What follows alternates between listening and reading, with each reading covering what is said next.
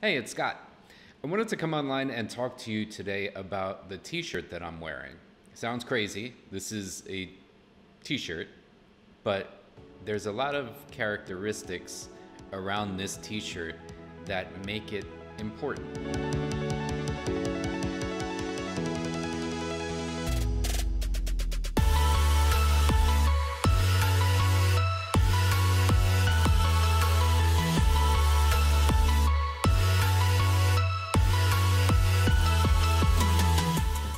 Often I would make a video about a t shirt, but this shirt is special. There's a lot of characteristics around this t shirt that make it important. There are three main ones. Number one, it's made from organic cotton. Starting to see a lot more of that. That's awesome. Number two, it's dyed using natural dyes. Number three, the goal of this company, Industry of All Nations, is the, is the company that made this shirt, is to propagate sustainable local economies that are good for the people that live there, good for the environment, that aren't harmful in any way, and that help facilitate the end to end production of a garment. So, growing the cotton, growing the indigo that's used to dye the cotton, harvesting the indigo, processing the indigo, processing the cotton, and actually constructing the garments all in these local economies, which is just fantastic. The vast majority of clothes that we wear every day are colored using synthetic petroleum based chemical dyes. A very ugly process that has negative consequences on the environment, to say the least. This shirt, simple blue t shirt, doesn't seem remarkable at all, but this shirt's actually been dipped into indigo dye 12 times. Each time that happens, the shirt has to be removed, dried, brought back in, and dipped again. That's how this shirt wound up having the dark blue color that it has. And when you buy a shirt that's made from indigo, you're actually buying it based upon the number of times that the shirt's been dipped. A shirt that's been dipped six times is going to be a lot lighter than a shirt that's been dipped 12 times. The shirt's made from organic cotton. It is super soft. It is the color is rich. It's vibrant. It's beautiful. Uh, it has that sort of natural unevenness to it, which I like. It has a really timeless style about it. So, I mean, it's a t shirt, but it has a classic cut. So, it's not going to be something that falls out of fashion a year or two from now. It'll be something that I'll have probably for the rest of my life. And it has a story to it. It has a, a, story of helping communities come together and, and support themselves and developing local economies outside of these mass production facilities that you see in, in largely two Asian countries. So it's helping to make economies and, and communities and, and people work together in a sustainable way that's not harming the environment. The, the indigo is actually not even irrigated. It relies on regular rainfall. The harvest is done so that the plant will continue to produce fruit going forward. They don't just chop the whole thing down. The, the indigo will continue to yield product. The plant will continue to yield going forward even after it's harvested. There's some water used during the, the harvesting process as they convert it from into into dye, but that water is diverted whatever the excess is is diverted into local farmlands because it's completely unharmed. It's not treated with petroleum chemicals or any of that stuff. There's no GMOs, there's no none of that stuff. This was from a, a place in India where that where that was harvested.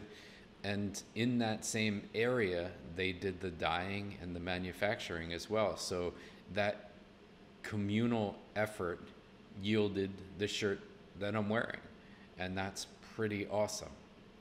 That's the goal of this company industry of all nations is to produce garments in an ecosystem that is comprised of end to end growing the cotton, dyeing the cotton, processing the cotton, creating the garment, and then distributing it to different areas around the world through their organization. If you haven't checked them out already, they have a wide assortment of different garments available on their website, all produced using natural dyes. In fact, this shirt, I feel honestly a little bit guilty. One of the things that they promote and that they encourage is folks to just wear natural cotton, cottons that cotton that's not dyed, cotton that's not treated. It has a beautiful, creamy, natural look to it. A number of different products on their website that are all timeless style, that are undyed, but they, their their thesis is that if you're going to sell colored product, then it needs to be dyed using natural methods. And that's what they've done. So they do have other garments that do they do have other colors. Each of those are done are dyed using natural dyes as well. And they're not only a fair trade company, but they're actually well beyond that because they're not just paying a wage, they're establishing ecosystems or economies in these different environments that previously maybe only a fraction of the economy exists. Maybe it was a farm where they sent all of the cotton over to Asia for processing. And instead of sending all the cotton away, now they're able to harvest the cotton, process it, and dye it and create new garments in their own community. So it's building up a sustainable industry and a sustainable craft in a way that's positive for both the community and for the environment in which they reside. So it's pretty awesome. It's a pretty cool methodology that this company has come up with. And again, that's why we're here is to really broadcast that and amplify that message of these companies that are doing good. Industry of all nations, they have a few different locations, but for most part, they're not a brand that you would have heard of or is wi- not a brand that's widely recognizable. And that's why I wanted to come on here and talk about this today. Their product line is fantastic. The shirt was $48, so it's not cheap, but there are certainly more expensive t shirts. Many cases, the expense going to the pockets of shareholders and the pockets of um, large corporations that, that have put together extensive marketing to promote these expensive products. And in most cases, they're made with conventional materials uh, cotton that's genetically modified, that's been treated with pesticides, that's commercially farmed and harvested in a way that's not positive for the environment or for the land on which it's grown. So the $48 is not an inexpensive shirt for where that $48 is going and what it's able to accomplish and the level of time, effort, energy, and conscious thought that went into the production of this, um, I actually think it probably should cost a little bit more, to be honest with you. And I'm happy to pay it. I, I I'm, feel good about paying it, and the amount of effort that went into the creation of this shirt, it deserves at least that.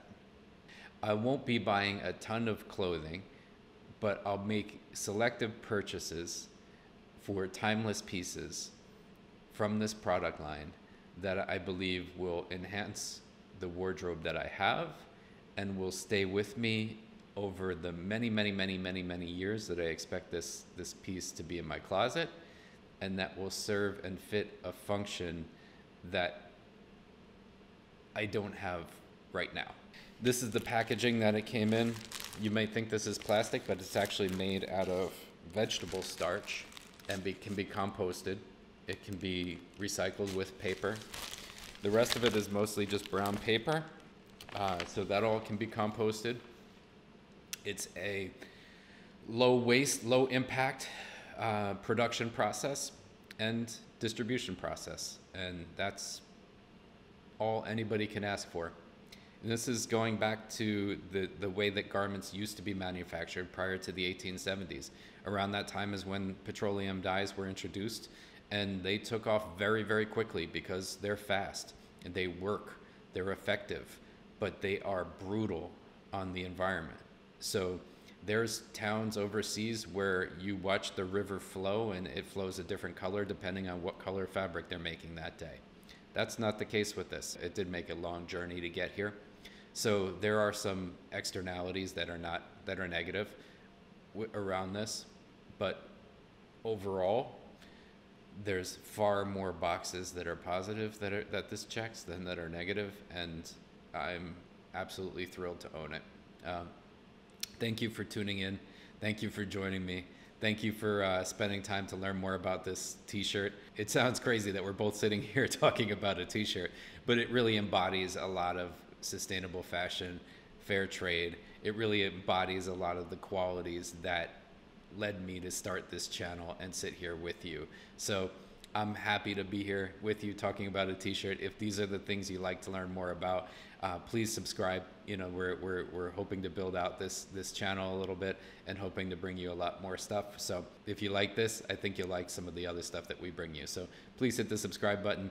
Let us know if there's any brands that you want us to focus on. If there's anything that you that you're familiar with in your travels, anybody that's doing something sustainable or something that you think we should be covering, you know, please let, drop us a line, send us an email, visit our website consciousnessineverydaylife.com or just drop it in the comments below.